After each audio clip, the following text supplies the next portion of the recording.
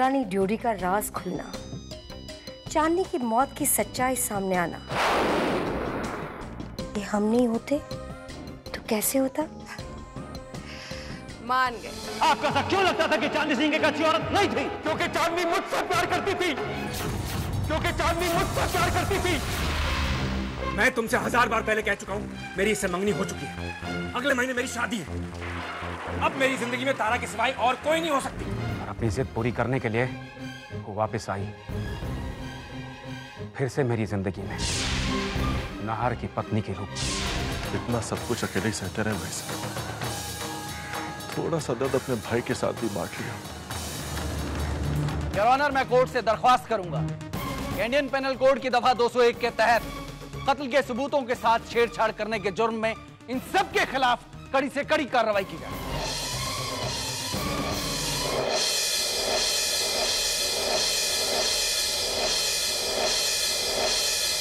Sir sir बिल्कुल झूठ है। मेरे परिवार पर गलत इल्ज़ाम लगाया जा रहा है। सर इस सब में मेरे परिवार की कोई गलती नहीं है sir. Order order silence in the court अपनी बात की सच्चाई को साबित करने के लिए मैं कोर्ट से दरख्वास्त करूँगा कि एक बार फिर मिसिस सलोनी सिंह को विटनेस बॉक्स में बुलाने की इजाज़त दी जाए। परमिशन ग्रांटेड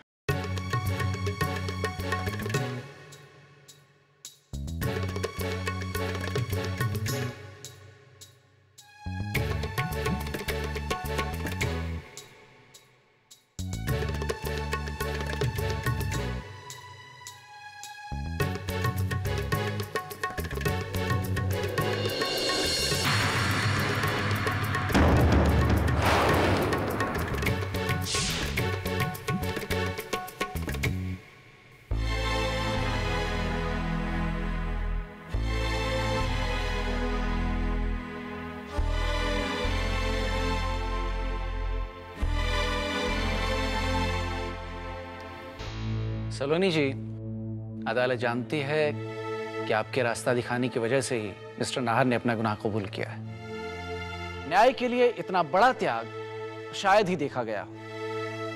और अब मैं आपसे भी यही उम्मीद करता हूँ कि आप मेरे हर सवाल का जवाब ईमानदारी से देंगे।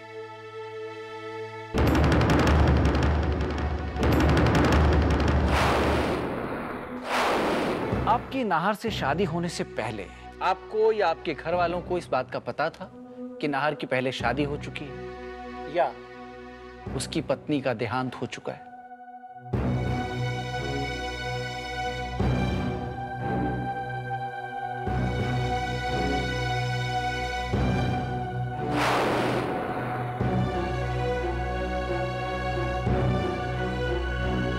जी नहीं। नोट किया जाए योर ऑनर नाहर और उनका परिवार जब अपने परिवार में शामिल होने जा रही, सोलोनी को इतना बड़ा धोखा दे सकता है। तो कानून को क्यों नहीं?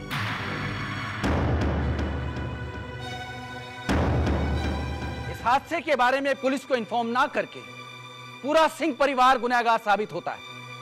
मैं कोर्ट से दरख्वास्त करूँगा कि पूरे सिंह परिवार के खिलाफ यह झूठ है जज साहब। पुलिस को इस हादसे के बारे में इंफॉर्मेशन दी गई थी। वकील साहब आप बताइए ना। मिस्टर विजेश आप ऐसी बेबुनियादी बातों से परेशान मत होइए। लेट फिनिश आप इंतज़ार कर सकते हैं लेकिन मैं नहीं। मैं किसी को भी अपनी परिवार की मर्यादा के साथ खिलवाड़ करते हुए नहीं देख सकता। जज साहब। मिस्टर ब्रजेश आपको जो कुछ भी कहना है विटनेस बॉक्स में आके कहिए।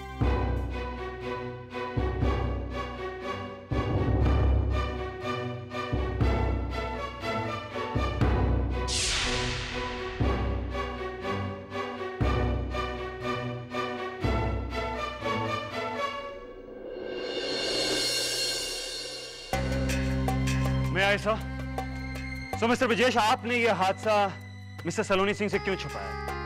ये एक बहुत शर्मनाक सच था योर जिसे किसी के साथ भी बांटने की हिम्मत नहीं थी हमारी।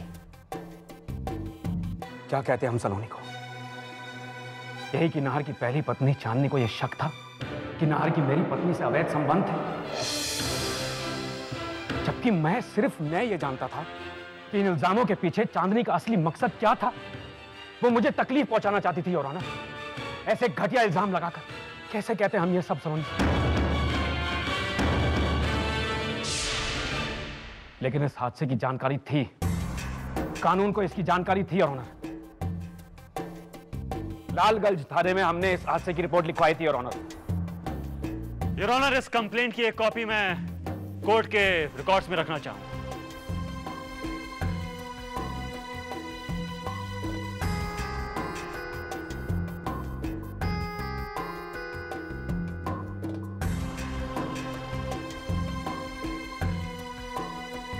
योर ऑनर मिसेस चांदनी एक दुर्घटना में पहाड़ी से नीचे गिर गई थी। इस बात की पूरी तहकीकात हुई थी। पुलिस अपनी पूरी जाँच पड़ताल के बाद इस नतीजे पर पहुँची कि एक महज एक दुर्घटना थी और यह केस बंद कर दिया गया। योर ऑनर इन्वेस्टिगेशन की एक कॉपी इसके साथ अटैच्ड लेकिन इस रिपोर्ट में मिसेस चांदनी सिंह की पोस्टमार्टम रिपोर्ट तो नहीं है। योर ऑनर पहाड़ी की ऊंचाई इतनी ज़्यादा थी कि वहाँ से गिरने के बाद किसी का बचना नामुमकिन था। इसलिए उन्हें मृत घोषित किया गया।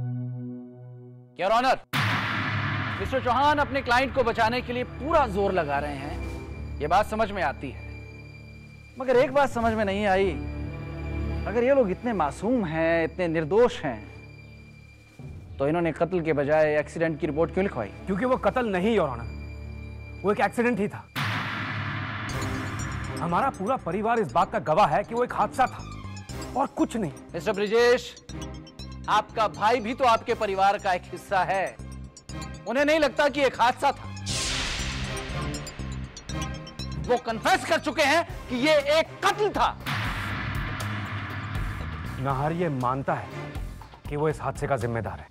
इस हादसे के सदमे में नहार अपने होश खो बैठा और वो खुद को इस हादसे का जिम्मेदार मानने लगा। और दो साल बीत जाने के बाद भी होश संभले नहीं इनके। मैं पूछ सकता हूँ उन्होंने अपने गुनाह का कन्फेशन उस वक्त क्यों नहीं किया जब यह वारदात हुई थी? क्योंकि उस वक्त मैंने नाहर को ऐसा करने से रोका था। जज साहब अगर आप मुझे आज्ञा दें तो मैं आपके सामने अपनी बात रखना चाहती हूँ। आपको जो कुछ भी कहना है विटनेस बॉक्स में आइए।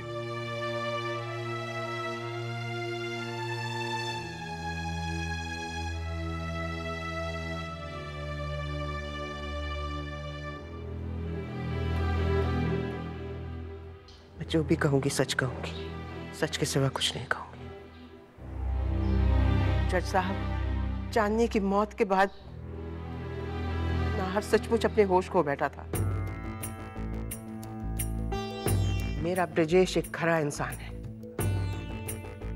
अगर नाहर ने कोई जुर्म किया होता तो ब्रजेश ने खुद उसको पुलिस के हवाले कर दिया होता। लेकिन ये तो नाहर का वहम था कि उसने चांदनी को मारा है। इसलिए मैंने नाहर को समझाया कि इस हादसे के बारे में किसी से कुछ ना कहे। जज साहब, मैंने नाहर को जन्म तो नहीं दिया, लेकिन मैंने संस्कार ज़रूर दिए हैं उसे। मेरा नाहर एक चीटी तक नहीं मार सकता। इंसान तो बहुत दूर की। मेरे नाहर ने कुछ नहीं किया। मेरे नाहर को छोड़ दीजिए जज साहब।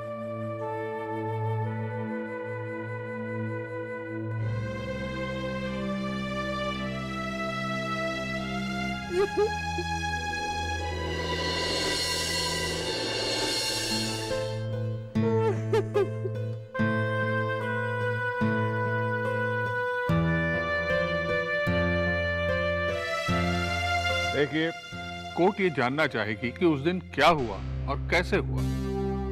जज साहब मैं जानती हूँ उस दिन क्या हुआ था। मैं वहाँ थी और मैंने सब कुछ अपनी आँखों से देखा था। आपका अभियुक्त से क्या रिश्ता है? मैं नाहर की भाभी हूँ। Please come to the witness box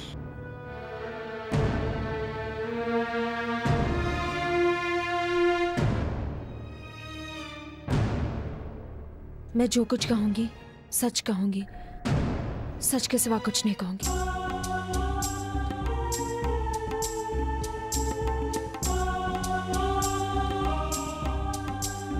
जज साहब, उस दिन की शुरुआत हमारे परिवार के लिए बहुत खुशनुमा थी। उस वक्त मैं मैं प्रेग्नेंट थी। और हम सब एक छोटी सी पिकनिक के लिए बाहर गए थे।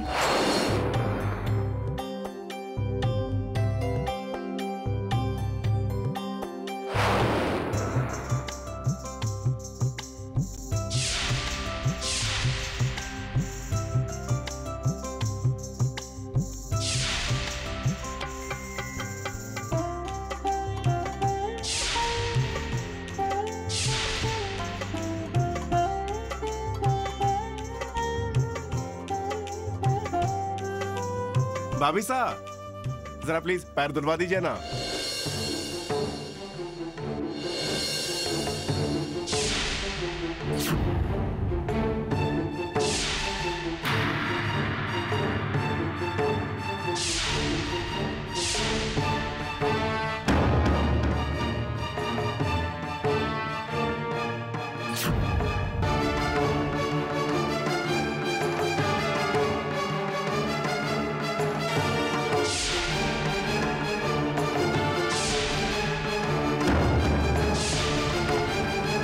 कर रही हैं आप? क्या कर रही हूँ? नाहर के पैर धो रही थी। आप अपनी ये छिछोरी हरकतें बंद क्यों नहीं कर देती? चांदनी? जानी तुम इतनी घटिया बात कैसे कह सकती हो?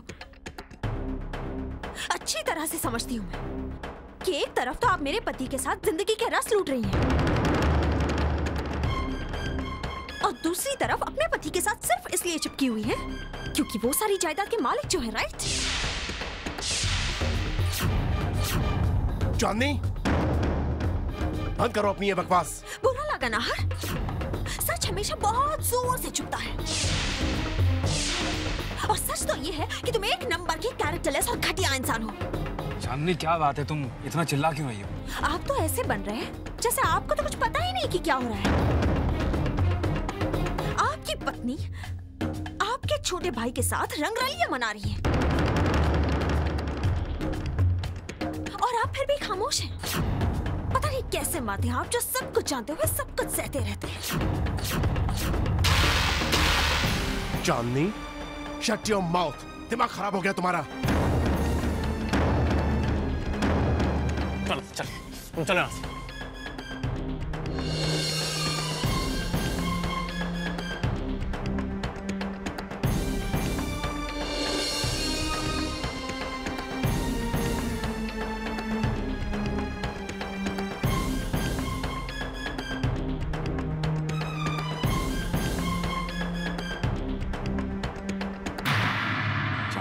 समझाना नामुमकिन है।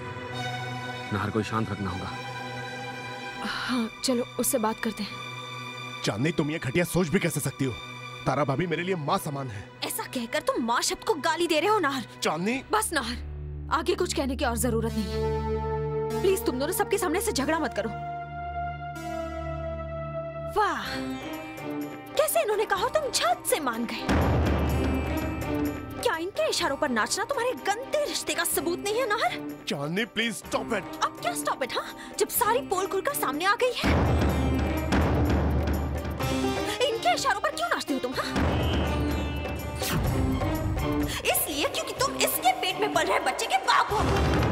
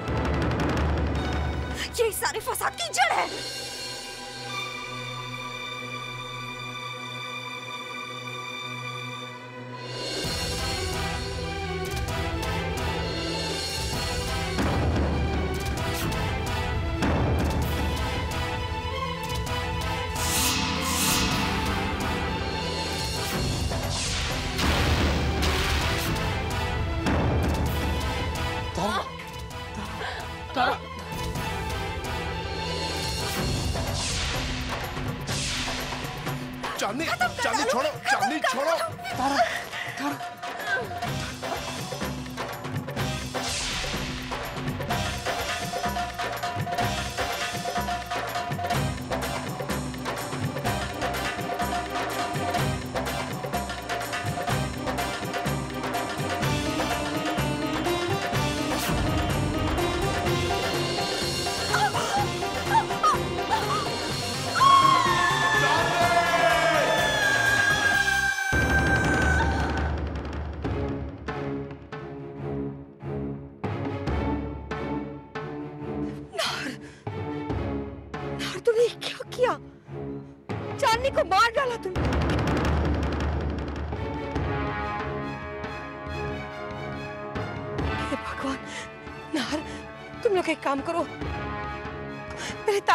हॉस्पिटल जाओ। मैं चांदी को ढूँढने की कोशिश करती हूँ। नहीं काकी। काकी आप लोग जाइए। चांदी को मैं ढूंढता हूँ। जाओ ना तुम लोग।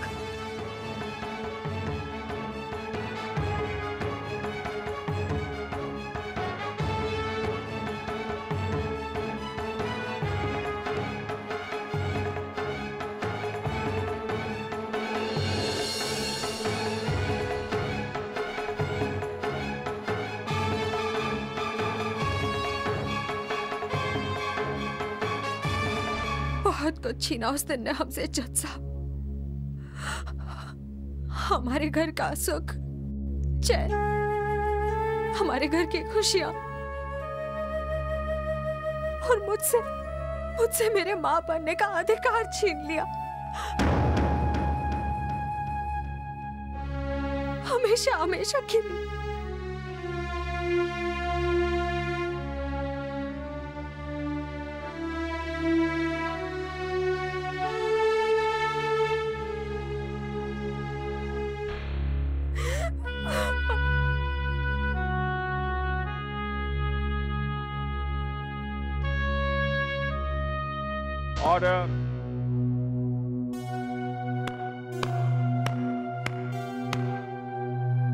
योर ऑनर मैं दाद देना चाहूँगा सिंह परिवार की कल्पना शक्ति को। क्या कहानी गढ़ी है नार को बचाने के लिए? एक कत्ल को दुर्घटना का रूप देने के लिए एक के बाद एक झूठ बोल के कोर्ट को गुमराह किया जा रहा है।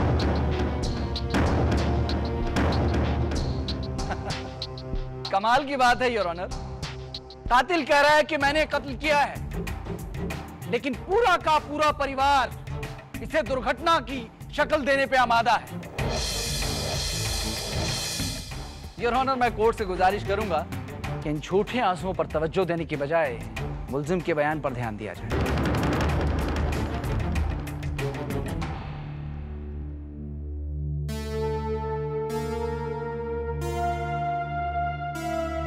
कोर्ट की कार्रवाई कल तक के लिए मुलतवी की जाती।